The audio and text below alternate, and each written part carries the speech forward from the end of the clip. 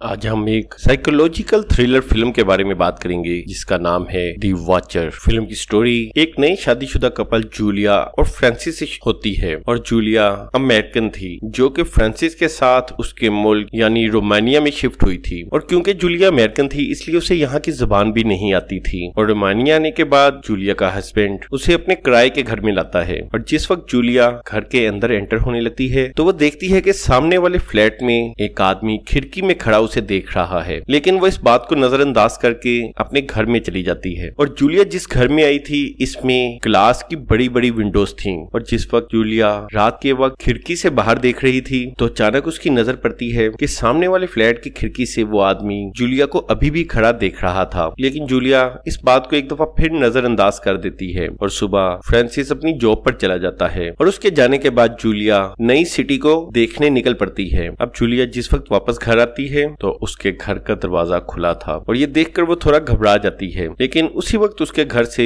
Land lady निकलती है, जो असल में यहाँ इलेक्ट्रीशियन को लाई थी ताकि यहाँ इलेक्ट्रिसिटी का काम करवा सके। अब जूलिया को यहाँ रहते काफ़ी वक्त गुजर गया था और सर्दियाँ शुरू हो रही थी और एक रात जब जूलिया अपने हस्बैंड का इंतज़ार करते हुए खिड़की में आई तो वो देखती है कि सामने वाली बिल्डिंग से वो आदमी अभी भी उसकी तरफ़ देख रहा है और इस दफ़ा जूलिया थोड़ी नर्वस हो जाती है और अब वो थोड़ी डर गई थी थी। फ्रांसिस के घर आने के बाद जूलिया उसके साथ बाहर जाती है, लेकिन वो देखती है कि उनकी बिल्डिंग के पास ही एक एंबुलेंस खड़ी है और जब वो वहाँ मौजूद लोगों से इसके बारे में पूछते हैं तो कोई भी उन्हें कुछ नहीं बताता। लेकिन घर वापस आकर वो टीवी पर खबर सुनती है और उसे पता चलता है कि पास वाली बिल्डिंग में एक खतरनाक कातिल ने एक यंग लड़की को बहुत बेदर्दी से मार दिया है और ये खबर सुनते ही जूलिया बहुत ज़्यादा डर जाती है। इसलिए वो फ्रांसिस को उस आदमी के बारे में बताती है जो खिड़की में खड़ा हर वक्त उसे देखता रहता था। लेकिन जब उसका हस्बैंड उस खिड़की को देखता है तो वहाँ कोई भी नहीं था। इसलिए वो जूलिया को समझाता है कि ये सिर्फ़ जूलिया का वहम है। अगले दिन फ्रांसिस का एक दोस्त डिनर पर आता है और डिनर टेबल पर सभी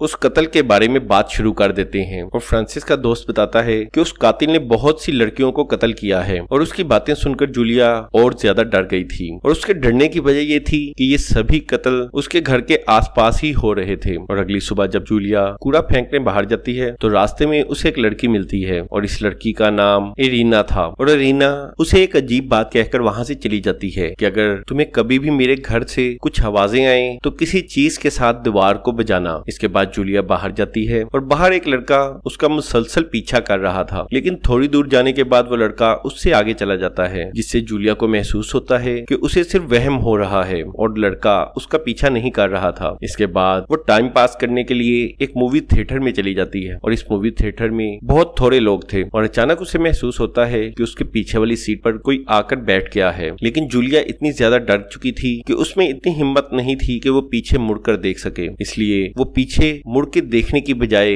थिएटर से ही बाहर आ जाती है। इसके बाद वो पास ही मौजूद एक मार्केट में अपने घर की कुछ सामान लेने जाती है। और यहाँ भी इसे ऐसा लगता है कि थिएटर वाला आदमी इसका यहाँ भी पीछा कर रहा है। इसलिए वो जल्दी से खुद को स्टाफ रूम में बंद कर लेती है और दरवाजे में मौजूद शीशे से उसे देखने लगती है। वो आदमी भी ऐसा लग रहा था कि उसे ही ढूंढ रहा है। लेकिन जूलिया पीछे वाले दरवाजे से निकलकर अपने घर आ जाती है और रात को खाना खाते हुए वो ये सारा वाक्य फ्रांसिस को बताती है। और वो बताती है कि जो आदमी खिड़की से उसे हर वक्त देखता रहता है, आज उसने मेरा पीछा किया। ये सुनते ही फ्रांसिस उसे सुपर मार्केट ले जाता है और यहाँ वो कैमरे की रिकॉर्डिंग चेक करते हैं। लेकिन रिकॉर्डिंग में ऐसा पता नहीं चल रहा था कि वो आदमी जूलिया का पीछा कर रहा है या नहीं। इसलिए फ्रांसिस उसे समझाता है कि तुम उसे देख रही थी, इसलिए उसने भी तुम्हें देखा। और ये सिर्फ़ तुम्हारा वहम है, लेकिन इसके बावजूद, जूलिया उस आदमी की तस्वीर अपने फ़ोन में ले लेती है। और अगली रात, जब जूलिया अपने हस्बैंड का इंतज़ार कर रही थी तो उसे कॉल आती है, जो कि फ्रांसिस की थी। और उसने जूलिया को बताया कि आज रात वो घर नहीं आ सकेगा। अब जूलिया घर में अकेली थी, इसलिए वो डर के मारे अपनी खिड़कियों के आगे पर्दे कर देती है। लेकिन उसे ऐसा लग रहा था कि जो आदमी उसे हमेशा देखता रहता है, वो अब भी उसे देख रहा होगा। और अब जूलिया को हर वक्त अपने आसपास किसी की मौजूदगी का वहम होता था और उसी वक्त दरवाजे पर दस्तक होती है और डरते डरते जूलिया दरवाज़ा खोलती है। और बाहर एक बूढ़ी औरत थी जो वहाँ की ज़ुबान में जूलिया से अपनी बिल्ली का पूछ रही थी, लेकिन जूलिया को उसकी कुछ समझ नहीं आ रही थी और उसी वक्त एरिना की नज़र उन पर पड़ती है और वो जूलिया को बताती है कि ये औरत उससे अपनी बिल्ली का पूछ रही है। इसके बाद एरिना जूलिया को अपने घर आने की दावत देती है। अब डरी हुई जूलिया कंपनी के लिए एरीना के घर आ जाती है और जब ये दोनों बैठी बातें कर रही थी तो अचानक एरिना के दरवाजे पर ज़ोर ज़ोर से दस्तक होने लगती है। लेकिन एरिना दरवाज़ा खोलने की बजाय अंदर ही खड़ी किसी से बातें करने लगती है। अगरचे जूलिया उसे देख रही थी, लेकिन उसे ये पता नहीं चल रहा था कि एरिना किससे बातें कर रही है। और एरिना आकर उसे बताती है कि बाहर उसका एक दोस्त था, जो कि बहुत गुस्से में था, इसलिए मैंने दरवाज़ा नहीं खोला। और इसके बाद एरिना उसे अपने बचाव के लिए गन दिखाती है। और थोड़ी देर टाइम स्पेंड करने के बाद जूलिया वापस अपने घर आ जाती है। और जब घर आकर वो खिड़की से पर्दे को हटाती है तो वो ये देखकर हैरान रह जाती है कि वो आदमी अभी भी खिड़की में खड़ा उसे देख रहा था। और जूलिया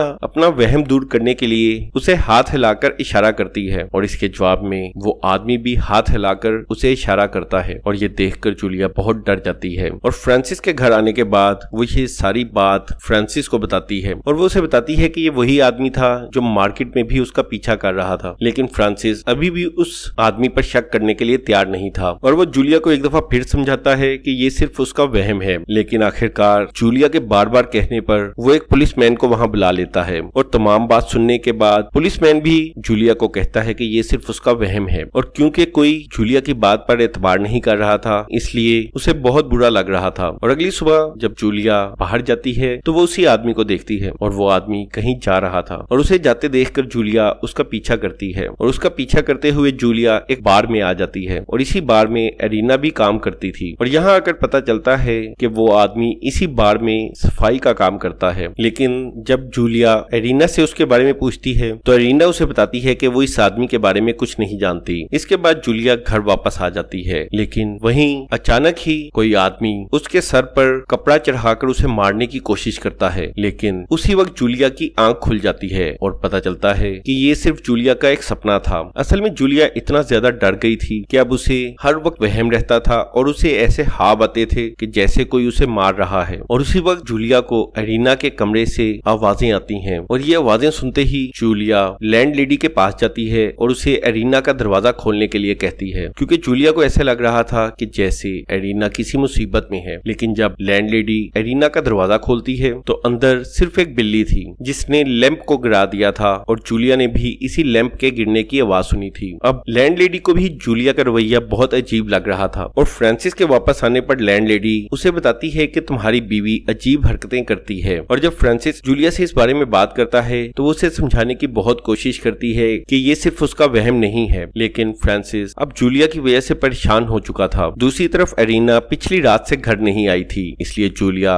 उसके लिए बहुत परेशान थी और उसी वक्त उसे एरिना के दरवाजे से एक आवाज़ आती है और वो बाहर आकर देखती है। तो एरिना का दोस्त दरवाजे को बजा रहा था और जब जूलिया एरिना के दोस्त से एरिना का पूछती है तो वो बताता है कि एरिना ने आज उससे मिलने आना था, लेकिन वो उससे मिलने नहीं आई। और इसीलिए मैं यहाँ आकर उसका पता करना चाहता था। इसके बाद जूलिया उससे एरिना का नंबर लेती है और उसे कॉल करती है। लेकिन एरिना का फ़ोन उसके घर ही था। और जब एरिना का दोस्त वहाँ से जाने लगता है तो जूलिया उसे रोक लेती है और उसे कहती है कि वो उसकी हेल्प करे। इसके बाद वो उसे लेकर सामने वाली बिल्डिंग में जाती है। और ये वही बिल्डिंग थी जहाँ वो आदमी रहता था, जो जूलिया को हर वक्त खिड़की से देखता रहता था और उस अपार्टमेंट में पहुँच के एरिना का दोस्त क्रिस्टियन दरवाज़ा खोलने के लिए कहता है, लेकिन कोई भी दरवाज़ा नहीं खोलता और इसके बाद वो वहाँ से चला जाता है और उसके जाने के बाद जूलिया दरवाजे को बजाती है। तो एक बूढ़ा आदमी दरवाज़ा खोलता है, लेकिन ये वो आदमी नहीं था जो जूलिया को देखता रहता था।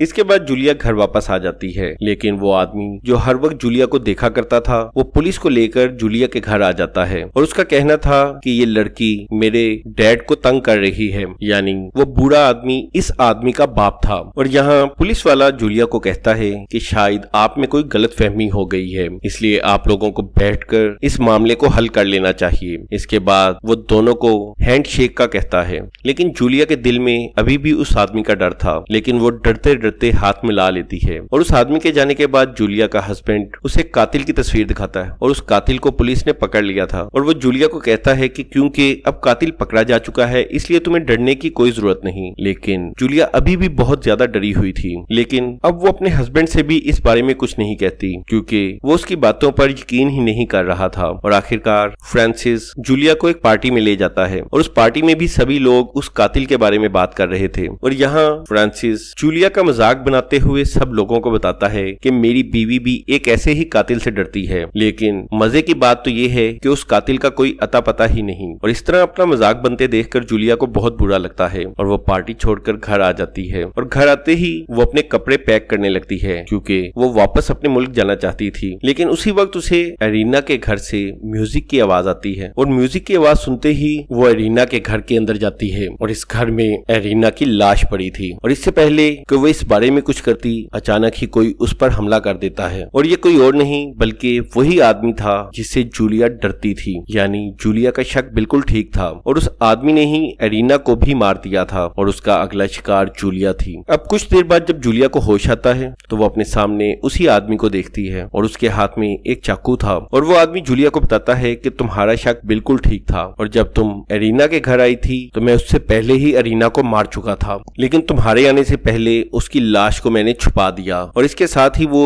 जूलिया के गले पर चाकू से वार करता है और उसी वक्त जूलिया को अपने हस्बैंड यानी फ्रांसिस की आवाज़ आती है, जो कि घर आ चुका था। और फ्रांसिस घर आकर देखता है कि जूलिया घर पर नहीं थी और जब वो जूलिया को फ़ोन करता है तो उसके फ़ोन की आवाज़ एरिना के घर से आ रही थी और जो ही फ्रांसिस घर से बाहर आता है तो वो एरिना के घर से उसी आदमी को निकलते हुए देखता है और उसे देखते ही फ्रांसिस को थोड़ा शक हो जाता है कि यकीन इसने एरिना के साथ कुछ किया है और उसी वक्त वो आदमी जूलिया के हस्बैंड की तरफ़ बढ़ने की कोशिश करता है, लेकिन उसी वक्त कोई एरिना के घर के अंदर से गोली चलाता है और इसके साथ ही उस आदमी की मौत हो जाती है। और यहाँ पता चलता है कि जूलिया ने उसे एरिना की गन से शूट किया है और जूलिया ने इस आदमी के सामने ये ड्रामा किया कि जैसे वो मर गई है, लेकिन असल में जूलिया ज़िंदा थी। इसके बाद जूलिया एरिना के घर से बाहर आती है और वो पूरी तरह खून में लतपत थी। इसके बाद वो अजीब नज़रों से फ्रांसिस की तरफ़ देखती है और उसकी नज़रों में कुछ ऐसा था जो फ्रांसिस को बता रहा था कि तुम मेरी बात का यकीन करने की बजाय मेरा मज़ाक बनाते थे और आखिरकार जूलिया ने असल कातिल को मार दिया था। और यही वो आदमी था जो कि असल में सब लड़कियों को कत्ल कर रहा था। लेकिन वो ऐसा क्यों कर रहा था? ये एक मिस्ट्री ही रह गई और इसके साथ ही ये मूवी एंड हो गई। और अगर आपको इसकी स्टोरी पसंद आई हो तो लाइक शेयर और सब्सक्राइब करना ना भूलिएगा।